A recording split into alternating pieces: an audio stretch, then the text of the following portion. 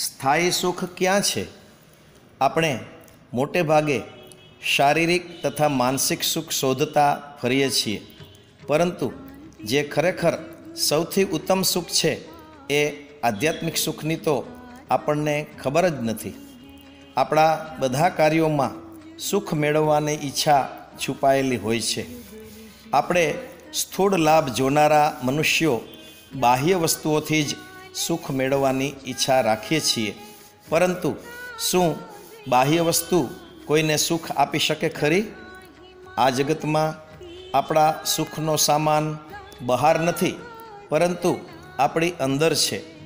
હિન્દુ શાસ્ત્રો પણ એ વાતનું પ્રમાણ આપે છે કે મનનું તત્વ જાણ્યા વગર બાહ્ય જગતના સુખોની કોઈ આશા રાખી શકાય નહીં. તેથી મનનું તત્વ જાણવું અને એની ઉપર પૂરેપૂરો કાબૂ રાખવો ખૂબ જરૂરી છે. મનને જીતી લેવાથી આપણે આખા સંસારને જીતી શકીશું. મનુષ્ય માટે સુખની ખાણ, આનંદનું ઝરણું આપણી અંદર જ છે. બહાર તો તેની માત્ર ઝલક દેખાય છે.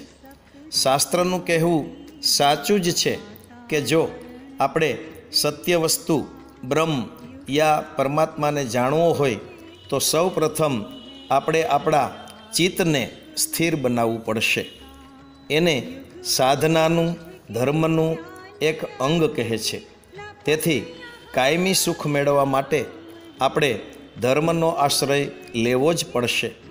ધર્મ જ આપણને વર્તમાનના ક્ષણિક સુખના બદલે ભવિષ્યમાં મળનારા અક્ષય સુખનો માર્ગ બતાવે છે.